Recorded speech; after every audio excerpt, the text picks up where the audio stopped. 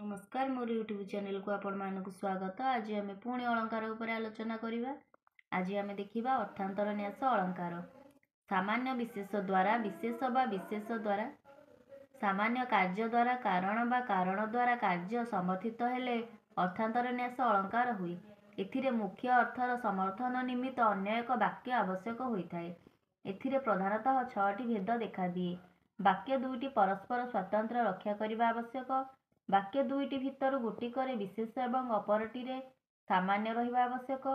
ଗୋଟିଏ ବାକ୍ୟ ପ୍ରକୃତ ଏବଂ ଅପରଟି ଅପକୃତ ହେବ। ପ୍ରକୃତଟି ସମର୍ଥ୍ୟ ଏବଂ ଅପକୃତଟି ସମର୍ଥକ ହେବା ଆବଶ୍ୟକ। ଯଦି ସାମାନ୍ୟ ପ୍ରକୃତ ହେବ ତେବେ ବିଶେଷ ହେବ। ଅପ୍ରକୃତ ଏବଂ ବିଶେଷ ପ୍ରକୃତ ହେଲେ ସାମାନ୍ୟ ହେବ ଅପ୍ରକୃତ। ସମର୍ଥକ ବାକ୍ୟରେ ସମର୍ଥନ ସୂଚକ ହିଁ ହେ ଆଦି ପଦର ବ୍ୟବହାର ହୋଇପାରେ ବା ନ ହୋଇପାରେ। ଉଦାହରଣ କଳଙ୍କ ହିଁ ଥାଇ କଳାକାର କୋଳେ କରଇ ନେତ୍ରରଞ୍ଜନ। ସ୍ୱଭାବ ସୁନ୍ଦର ଅଙ୍ଗକୁ ଜଗତେ ନ ହୁଏ କିସ ମଣ୍ଡନ କଳାକାର ଅର୍ଥ ଚନ୍ଦ୍ର। କଳଙ୍କ ଥିବା ସତ୍ତ୍ୱେ ଚନ୍ଦ୍ର ମନୋହର ଦେଖାଯାଏ। ସେହିପରି ସୁନ୍ଦର ଅଙ୍ଗବିଶିଷ୍ଟ ନାରୀ ଯାହା ପିନ୍ଧିଲେ ବି ଅଧିକ ସୁନ୍ଦର ଦେଖାଯାଏ। କଳଙ୍କ ଥିବା ସତ୍ତ୍ୱେ ଚନ୍ଦ୍ର ମନୋହର ଦେଖାଯିବା ଏହି ସାମାନ୍ୟ ସତ୍ୟ ସ୍ୱଭାବ ସୁନ୍ଦର ଅଙ୍ଗକୁ କିସ ଯେକୌଣସି ବସ୍ତ୍ର ମଣ୍ଡନ କରିବା ରୂପକ ବିଶେଷ କଥା ସମର୍ପିତ ହୋଇଅଛି। ଏଣୁ ଏହା ଅର୍ଥାନ୍ତର ନ୍ୟାସ ଅଳଙ୍କାର। ଆଉ ଏକ ଉଦାହରଣ ଦେଖିବା କରିଥାଇ ପୂର୍ବରେ ଯେ ଯେଉଁ କର୍ମ କାଳେ ତାକୁ ତା ଭୋଗ କରାଏ ଧର୍ମ। କରାଇ ଯେ ଥିଲେ ଶିବଙ୍କୁ ବିଷପାନ କେତେବେଳେ ସେ କଥା ନୋହିଲା ଆନ।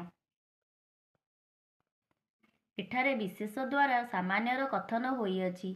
ଶେଷ ଦୁଇ ଧାଡ଼ି ବିଶେଷ କଥନ ଓ ଏହାଦ୍ୱାରା ପ୍ରଥମ ଦୁଇ ଧାଡ଼ିରେ ଥିବା ସାମାନ୍ୟ ସତ୍ୟକୁ ସମର୍ଥନ କରୁଥିବାରୁ ଏହା ଅର୍ଥାନ୍ତର ନ୍ୟାସ ଅଳଙ୍କାର। ଏବେ ଦେଖିବା ଦୀପକ ଅଳଙ୍କାର। ଯେଉଁଠାରେ ପ୍ରାକରଣିକ ପ୍ରସ୍ତୁତ ତଥା ଅପ୍ରାକରଣିକ ଅପ୍ରସ୍ତୁତ ପଦାର୍ଥର କ୍ରିୟା ବା ଗୁଣର ସାମ୍ୟ ପ୍ରଦର୍ଶନ କରାଯାଇଥାଏ ସେଠାରେ ଦୀପକ ଅଳଙ୍କାର ହୋଇଥାଏ। ପ୍ରକୃତ ପଦାର୍ଥର ଧର୍ମ ଅପ୍ରକୃତ ପଦାର୍ଥକୁ ପ୍ରକାଶିତ କଲେ ଦୀପକ ଅଳଙ୍କାର ହୁଏ। ଅର୍ଥାତ୍ ଘର ଭିତରେ ରଖାଯାଇଥିବା ଦୀପ ଯେପରି ଘରର ବାହାରକୁ ଆଲୋକିତ କରେ ସେହିପରି ଏହି ଅଳଙ୍କାର ଅପ୍ରକୃତ ଅର୍ଥକୁ ପ୍ରକାଶ କରିଥାଏ।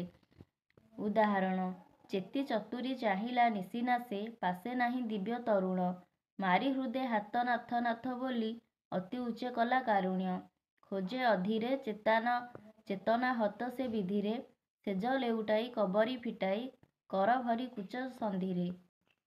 ଏଠାରେ ମାରି ହୃଦେ ହାତ ସେଜ ଲେଉଟାଇ କବରୀ ଫିଟାଇ ଚେତି କର ଭରି ଇତ୍ୟାଦି କ୍ରିୟାଗୁଡ଼ିକର ଗୋଟିଏ ମାତ୍ର କାରକ ଚତୁରୀ ଲାବଣ୍ୟବତୀ ବିଦ୍ୟମାନ। ଏଠାରେ କ୍ରିୟା ଭିତରେ କୌଣସି ଗମ୍ୟ ଔପମ୍ୟ ନାହିଁ ଏବଂ ତାହା ଆବଶ୍ୟକ ନୁହେଁ ତେଣୁ ଏହା ଦୀପକ ଅଳଙ୍କାର।